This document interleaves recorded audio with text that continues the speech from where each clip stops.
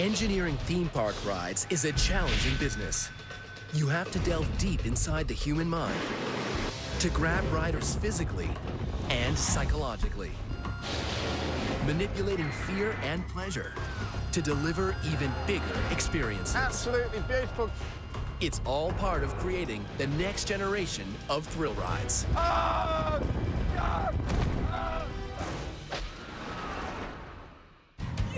It's a cutthroat business with billions of dollars at stake. If you're going to succeed in the thrill ride industry, you need to push the envelope. You're going to have the very best technology and attempt the impossible to stay ahead of the game. It's a challenge that designers and engineers totally thrive on. This is Fahrenheit, a coaster taking human fear in a completely new direction. It's a terrifying ride with corkscrew rolls, a cobra, and an inverted S roll. But thrill seekers are coming to Hershey Park, Pennsylvania to try out a completely unique experience. They want to take a drop that messes up your mind.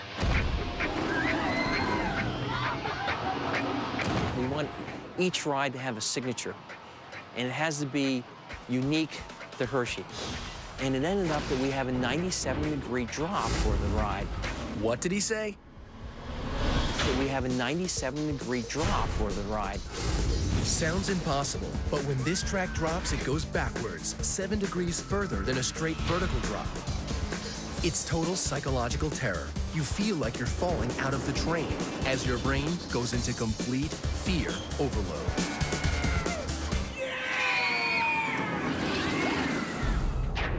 The drop is one thing, but it's the slow 90 degree climb, eyes looking straight into the sky, that creates a huge sense of anticipation.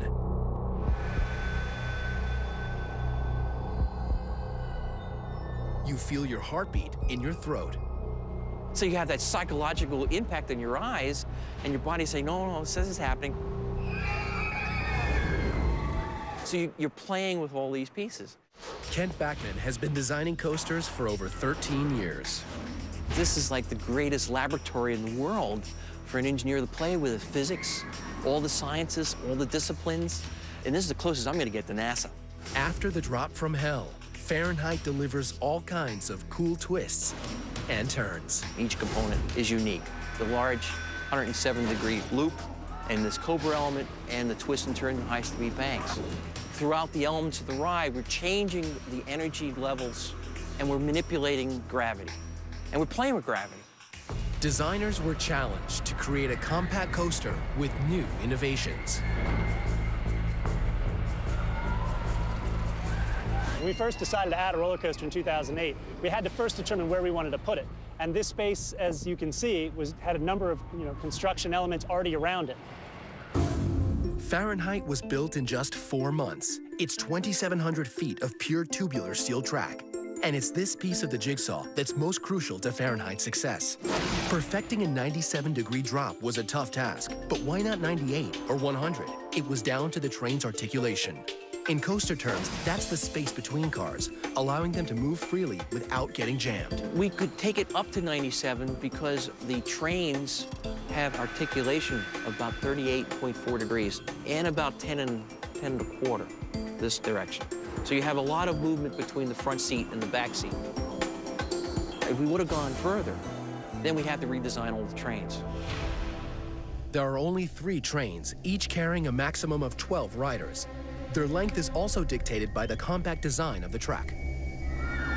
People say, why is the train so short? The train is short because remember, I said there's a lot of articulation, a lot of rotation between the track. This is more of a road handling course. There's very tight turns, very tight twisting, where we couldn't use a normal train to do that. Trains were one of the design elements. They also needed this drop to be as dramatic as possible, and that came down to some simple physics. When we set the top height, that gives us all the energy we need. And we're coming out of that first drop as a tremendous fall. We developed close to four plus Gs coming off. So that train that's six tons, now times four, is 24 tons of all energy, of total pure energy. And that's what rock and rolls and allows us to go around this whole track. Physics is all fine and good on paper, but to test the world's first 97 degree drop, the job was left to a bunch of dummies.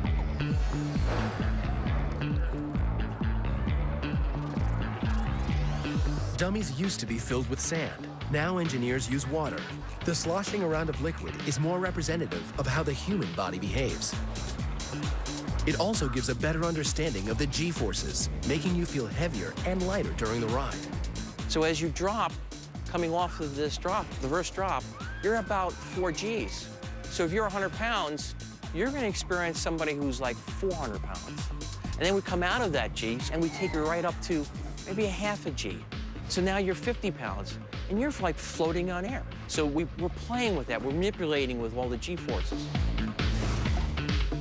4Gs is roughly what astronauts experience on a space shuttle launch.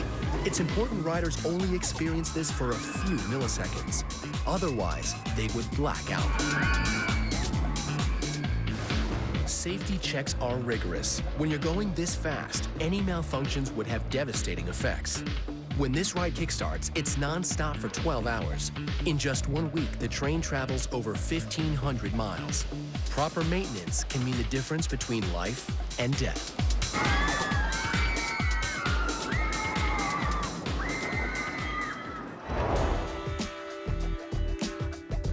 Within minutes of opening time, Fahrenheit is ready for action, and adrenaline junkies get in line. Among them is Brendan Walker, a self-confessed thrill seeker, but one with a purpose. His aim is to decode what happens to our bodies in thrilling situations and use the data to help designers take their creations to the very next level.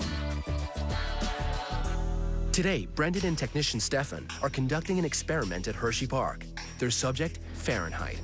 They will test how each drop, twist, and turn affects Brendan's body. The data will offer designers an insight into the different thrills this coaster delivers and ways they can tweak and improve rides in the future. Changes in Brendan's heart rate will highlight arousal, measured by an electrocardiogram.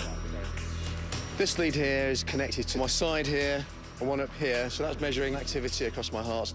Signs of pleasure and fear will be picked up using these electrode sensors on Brendan's face muscles, identifying smiles and frowns. I'm just going to wipe some alcohol gel on here, which is going to take off all the dirt and grease and sweat which is built up there. I don't like how you're saying that. Sorry. Sweat glands on Brendan's hands will open up during the ride, causing changes in electrical activity, another indicator of arousal. Are actually putting electric current through Brendan's fingers, um, and just the changes in that electric current is what gives us a signal that tells us more about the kind of level of, of arousal that he's experiencing. These struts here. A specially designed helmet will also capture every facial expression. It's good. Brendan is suited, booted, and ready to ride. Let's go. You ready, Steph? Yeah. All ready to go. Good. Thanks, Excellent. We're looking down. Ah! Ah! How will Brendan's body react to this? Right down. And a twist as well. And later, we go deep inside Niagara's fury, and riders get hot under the collar of the ferocious X2.